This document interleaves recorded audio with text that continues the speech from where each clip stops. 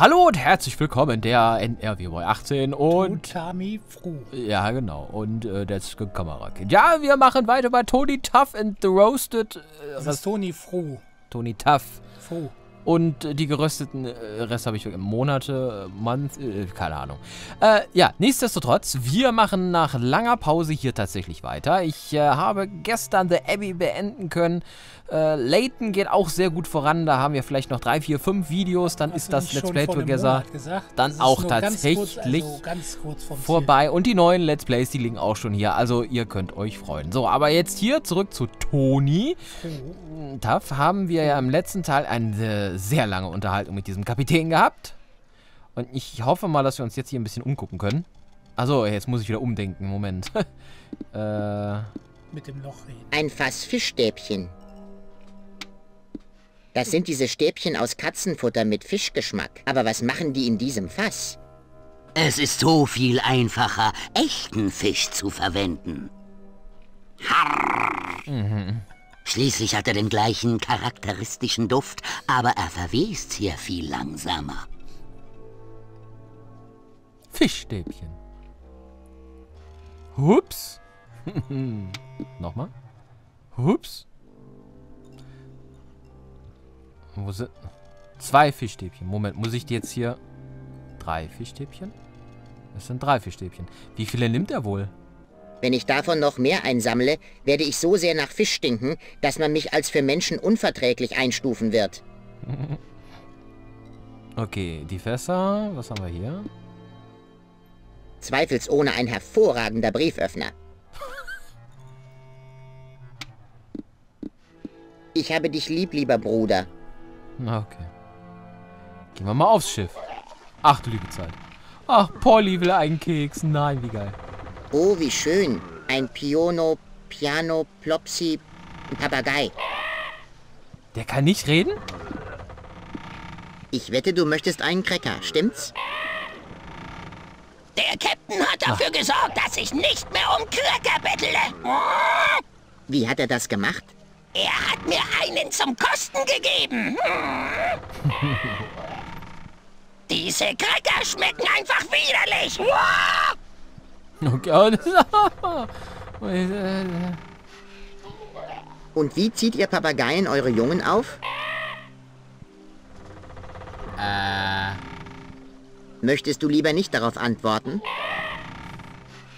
warum spuckt der so? Anscheinend weißt du die Antwort gar nicht, stimmt's?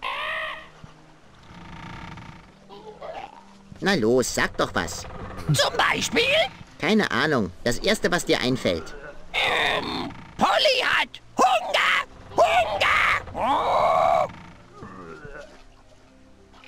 Was ist dein Lieblingsessen? Also für ein Krabbenkanapee würde ich den ausgestopften Balg meiner Mutter verkaufen. Polly liebt Krabbenkanapés. Ja! Halten wir das mal im Hinterkopf. Du hast wohl nicht zufällig einen violetten Hund gesehen? Nein, aber hast du in letzter Zeit einen Psychiater gesehen? Oh? Wirklich sehr witzig. Ich wette, du kennst alle möglichen guten Witze. Ja, kennst du den schon? Oh? Ein Mädchen sagt zu ihrer Freundin. Übrigens, weißt du schon, dass mein Mann und ich geschieden sind? Hm? Und ihre Freundin sagt, "Hm, das ist ja nicht zu fassen. Ihr wart ein so tolles Paar. Und das erste Mädchen antwortet, aber seine Angewohnheiten waren einfach unerträglich. Zum Beispiel hat er seinen Tee oder Kaffee immer mit der linken Hand umgerührt, sogar in aller Öffentlichkeit. Und was ist daran so schlimm? fragt ihre Freundin. Naja, normalerweise benutzt man dazu einen Teelöffel.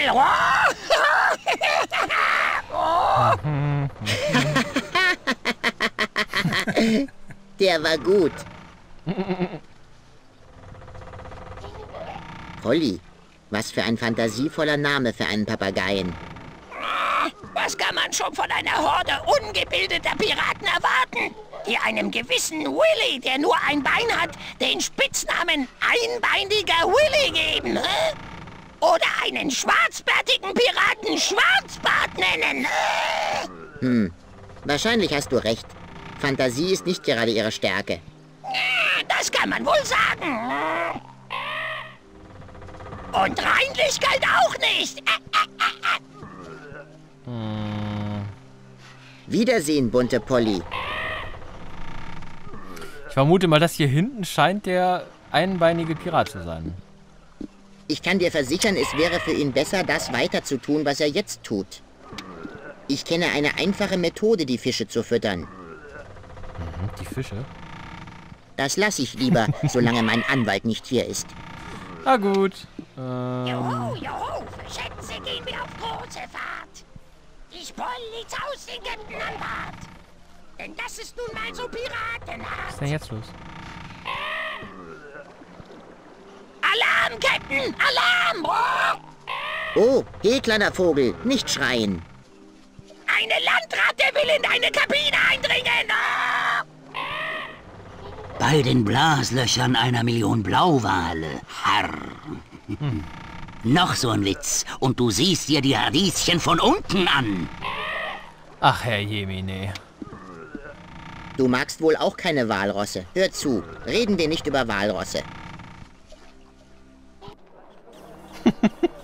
Das könnte Ansager. Ich hätte jetzt gedacht, es wäre ein Anwalt. Er scheint sich ja prächtig Sag zu mal, amüsieren. Barkeeper, kratzt das Huhn noch am Boden unter deinen Füßen herum? Immer mit der Ruhe. Ich weiß, es geht mich nichts an, aber ich wollte nur fragen, was Sie haben. Ganz einfach.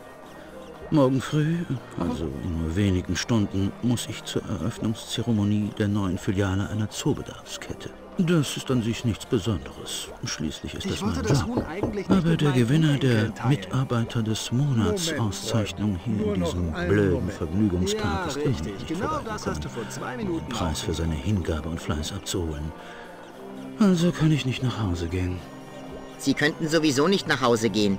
Der Chef des Parks hat uns hier alle eingeschlossen. Wie war das? Haben Sie die Ansage nicht gehört? Nun, ehrlich gesagt, bis vor kurzem hat man hier einen Rülpswettbewerb abgehalten, also Ich bin im Bilde. der Chef wird mir die Überstunden bezahlen müssen, das steht fest. Und was machen Sie jetzt? Ich warte weiter auf den Mitarbeiter des Monats, bis man das Tor wieder aufschließt. Hör mal, ich komme um vor Hunger. Also erstmal richtig geile Synchronstimme, auf der anderen Seite leider zu leise. Ich wollte das Huhn eigentlich nicht Mitarbeiter des. Monats. Wieder so ein unsinniger Versuch der Gewerkschaft, die Produktivität zu erhöhen und die Arbeitsmoral der Parkmitarbeiter zu verbessern, ohne Geld auszugeben. Haben wir ein Bild von uns vielleicht, was wir da hin tun können? Nein, natürlich nicht. Sag mal, Barkeeper. Na, hier ist ja die gute Laune zu Hause. Immer mit der Ruhe. Guten Abend, Herr Pirat. Nein, ist es nicht. Wie bitte? Es ist kein guter Abend, überhaupt nicht. Es ist ein furchtbarer Abend, genau wie alle anderen. Die Welt ist widerwärtig, die Menschheit ist abscheulich und ich bin so furchtbar traurig. Ich wette, Sie sind genauso abscheulich wie alle anderen. Wenn Sie damit den Zustand meiner Unterwäsche meinen, haben Sie recht. Oh, Ähm, wollen Sie reden? sicher, warum nicht? Ach nö. Haben Sie eine Ahnung, wie ich hier im Park ein paar Dollar verdienen kann? Tja, Sie könnten zum Beispiel eine Benefizveranstaltung für ein Alkoholiker-Rehabilitationszentrum arrangieren. Aber wie? Alles, was ich habe, abgesehen von den Sachen, die ich trage, ist eine Perücke und eine Handvoll Kleinkram. Kein Problem. Sie suchen einen Ort, an dem die Veranstaltung stattfinden kann und ein schönes Neonschild. Und ich trommle die Säufer zusammen. Tja, das dürfte nicht allzu schwer sein, aber irgendwie bezweifle ich, dass es funktionieren würde. Sie haben recht, ich bezweifle es auch. Es ist eine ekelhafte Welt da draußen. Darf ich fragen, warum Sie so niedergeschlagen sind? Um die Wahrheit zu sagen, es ist eine lange Geschichte. Eine sehr, sehr lange Geschichte. Eine Geschichte von Blut und Rum und einem defekten Radar. Könnten Sie mir nicht einfach die Kurzfassung erzählen? Nun, die Kurzfassung geht so. Was Sie vor sich sehen, ist das Wrack eines Mannes. Ach, vielleicht hätte ich einfach nicht Pirat werden sollen. Hälse aufschneiden, Schiffe entern, sich mit Alkohol betäuben, um das Leben an Bord eines Schiffes erträglich zu machen und so weiter. Zusammen mit dem zunehmenden Mangel an Begeisterung für den Beruf spürte ich immer mehr ein Gefühl der Unzufriedenheit mit dem Leben im Allgemeinen, bis ich schließlich feststellte, dass in meiner Brust keine menschliche Regung mehr war. Das reicht, um eine Embolie zu verursachen. Und so sitze ich hier, zusammengekauert in dieser schäbigen Bar, abgestumpft durch die grausame Gleichgültigkeit, dass ich, so traurig ich auch bin, keine einzige Träne vergießen kann. Nach all den Jahren auf See glaube ich allmählich, dass ich gar nicht mehr dazu fähig bin, Emotionen zu empfinden. Ich frage mich, ob ich noch echte Tränen vergießen kann. Also ich finde die Konversation hier schon ein wenig sehr langatmig und vor allen Dingen die Frage ist, ist es wirklich spielrelevant, sich jetzt hier mit allen zu unterhalten? In, in der Regel bei solchen Spielen schon, aber ich finde das jetzt hier nicht irgendwie wirklich wichtig. Oh. Tut mir mein Ich möchte jetzt einfach mal ein bisschen hier die Gegend erkunden, weil jetzt, ja, Mimbaki... Ach, da sitzt noch einer. Oh. Aus Zurück in die Zukunft. Was? Das kann ich von hier aus nicht lesen. Meine Sehkraft lässt so rapide nach. Wenn es einen Preis für den Menschen mit der am schnellsten nachlassenden Sehkraft gäbe, müsste ich ihn in Begleitung eines Blindenhundes abholen. Hm. Hältst du bitte die Klappe? Gut, äh, dann schauen wir uns auf jeden Fall hier erstmal noch ein bisschen um, bevor wir uns... Ja, halt! Eine leere Schnapsflasche. Ich glaube, die sollte ich lieber nicht anfassen. Oh. Es sieht aus, als würde sie zum Bühnenbild gehören. So, Betrunkener. Da liegt noch einer. Unfassbar. Hältst du bitte die Klappe? Halten wir das mal im Gedächtnis und äh, schauen uns das später mal an, weil wir haben noch so viel hier zu erkunden. Hier, Rufus zum Beispiel. Ach, guck mal. Guck mal, hier, hier ist jemand, der sieht genauso aus wie ich. Und was Nein, ist, wenn nicht. er beschließt, mich zu nehmen? Nein, nein, nicht das Schild, Mann. Das ist Rufus. Guten Abend, Herr Rufus. Darf ich mich vorstellen? Ich heiße Tony Tuff und Hey Leute, schnell sagt es dem Boss. Der Salatmann ist wieder ausgebüxt. guter Witz. Also, äh, ich suche Kein Wort weiter. Lass mich raten. Den Ausgang. Wonach sollte ein flüchtiger Salatmann sonst suchen? Ach du Scheiße. Kinder, ist es spät geworden. Ich würde wirklich gern noch länger. Nein, ich suche jemanden, der mir meinen Armstahl aufnehmen kann. Eigentlich nicht, dass ich suche nämlich meinen Hund.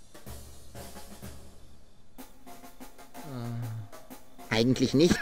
Ich suche nämlich meinen Hund. Einen großen, fetten, violetten Jagdhund. Das einzige große, fette Violette, das ich heute gesehen habe, war Dave, als er sich an einer Kugel Eiscreme verschluckte. Aha, ich verstehe. Ich mag deine Freunde. Was machen sie denn? Nichts. Die stehen immer nur da rum. Wow. Ist klar. Kinder, es ist spät geworden. Ich würde wirklich gern noch länger hier bleiben und mich beleidigen lassen, aber ich merke gerade, dass es höchste Zeit wird für meinen Ballettunterricht. Ist klar. Teufel und Schneemann. Jetzt sag mir nicht, ich kann mich mit denen auch unterhalten. Hast du einen Moment Zeit, kleiner Teufel? Entschuldigung, aber Dave redet nicht mit Fremden. Besonders wenn sie so aufdringlich sind wie du. Ach, je. Euer Gnaden.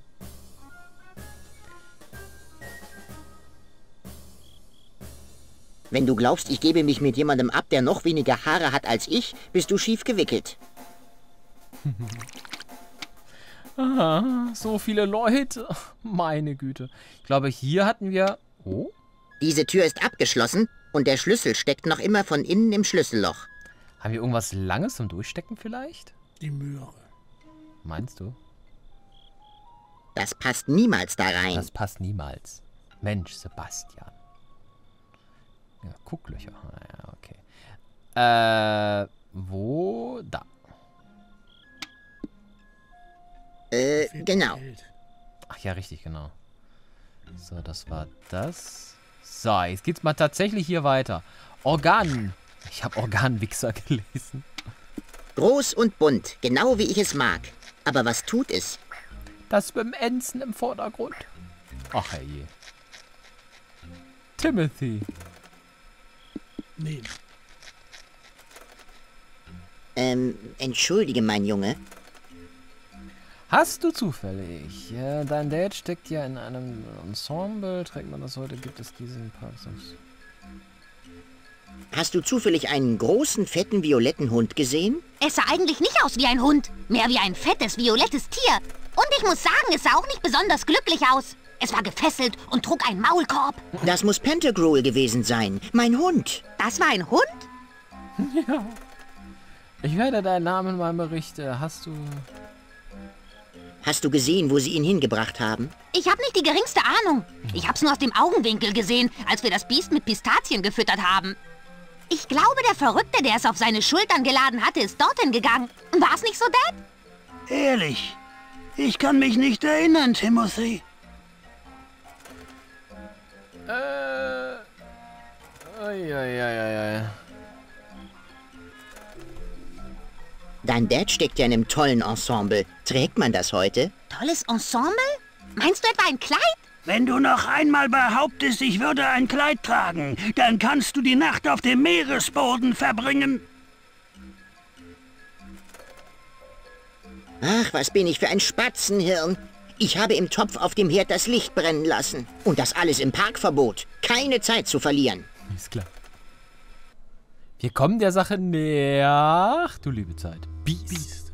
Sehr einfach. Ich wünschte, ich hätte so viele Haare. Guck mal, was da hängt. Ach, nur ein Kaugummi. Ich dachte, das wäre jetzt irgendwie...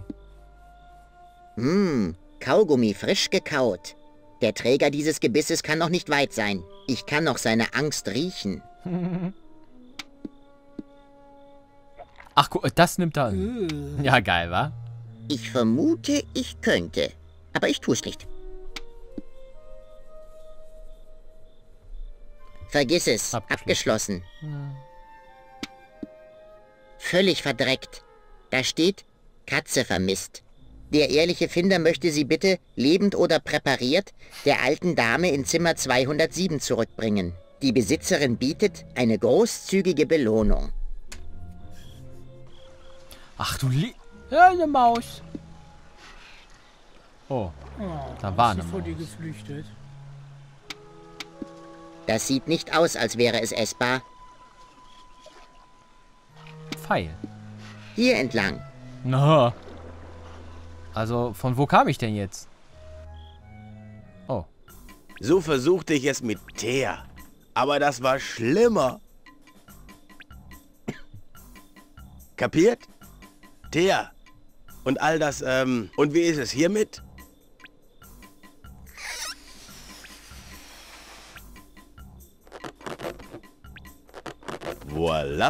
Ein Escherichia coli.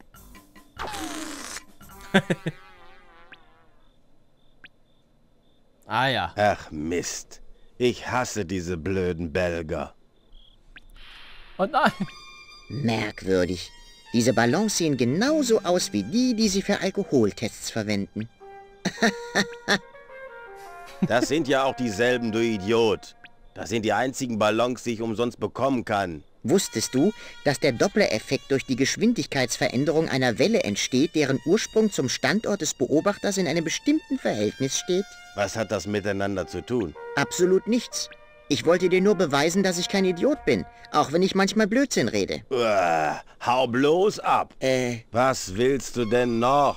los, zeig mir doch mal ein Kunststück. Dafür wirst du schließlich bezahlt, oder? Naja, wenn du unbedingt willst, dann könnte ich vielleicht...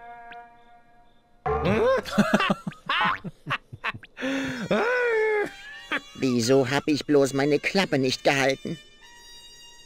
Kann ich den jetzt mitnehmen? Ich bin sicher, wenn ich das versuche, wird Schmeili der Clown nicht zögern, mich aufs Schlimmste zu beleidigen, vielleicht sogar zu erwürgen. Schmeili? Ich bin sicher, wenn ich das versuche, Ah, guck mal, der hier oben sieht aus wie Pluto, oder? Hat nur leicht Ähnlichkeit. Zigarettenstummel. niemals, auf keinen Fall. Du bringst mich nur dazu, die aufzuheben, wenn du mir mit Exekution drohst. Ach, da geht's noch weiter. Boah, wie groß ist das Areal? Ja, ja. Ach du liebe Zeit. Bloß nicht riskieren, sich zu verlaufen. Das ist ja ein Dschungel hier draußen. Das ist ja geil. Der Kommentar war ja geil.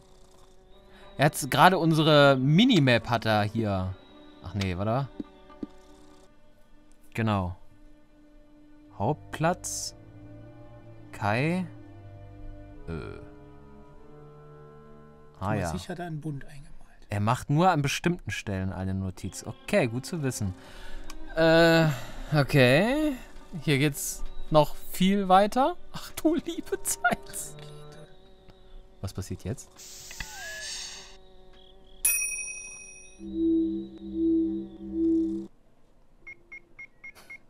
Gott. Randall! Tentakel! Ich brech ins Essen. Pff, widerlich. Und das hier sieht aus wie das Skateboard von Marty aus Zurück in die Zukunft. Wahnsinn. Ja, okay. Nicht mit dem unterhalten. Nee, ach, das, das wird mir ein bisschen zu viel. Ich will erstmal hier wissen, wo es hier... Hiermit nehme ich im Namen der Vereinigten Staaten von Amerika diesen Planeten in Besitz. Ist klar. Ach, vergiss es. Wo ist die Fahne? Hier geht's noch weiter. Ich will jetzt erstmal einen Überblick haben hier. Leck mich am Affenarsch. Tritt näher und fordere mich beim 13-Kürbisse-Spiel heraus. Nee, nee, später. Ach du liebe Zeit. Aber hier ist tatsächlich mal Sackgasse. Das sieht schön aus hier unten. Da den Piraten. Ah, ein Rundkurs. Oh, der Tunnel der Liebe. Sebastian, sollen wir an den Tunnel der Liebe? Willst du nicht erstmal mit der Barbie unterhalten? Mit der Isabella? Nein. Warten Sie einen Moment. Na. Diese Attraktion ist nur für Pärchen. Und bis Sie ein Mädchen finden, das mit Ihnen fährt, können Sie es vergessen. Ach so, und wo finde ich die... Wahrscheinlich wollen Sie jetzt wissen, wo die Taverne ist. Nun, offen gesagt, ich... Gehen Sie in östliche Richtung, zum Kai vom Piratenschiff. Aber, aber ich... Ach, ist ja wurscht. Da war aber keine Frau, da waren alles nur Männer. äh, schon wieder Steckbrief. Ist das wieder die Katze? Völlig verdreckt. Da steht Katze vermittelt. Die Besitzerin bietet... Gut, dann äh, scheint es wohl hier zu Ende zu sein. Das ist... Äh, oh. Eine Speisekarte. Eine Speisekarte, geschrieben in wackeligem Englisch. Hm. Ich hab sie! So etwas kann ich überall finden. Es ist so heiß, meine Achselhöhlen sind ausgetrocknet. Wirklich eine ungeheure Hitzequelle. Dem Entwicklungsstadium dieser Larven nach zu urteilen, muss dieses Mehl hier schon eine ganze Weile rumstehen. Ich habe diese Exemplare schon in meiner Insektensammlung. Hm.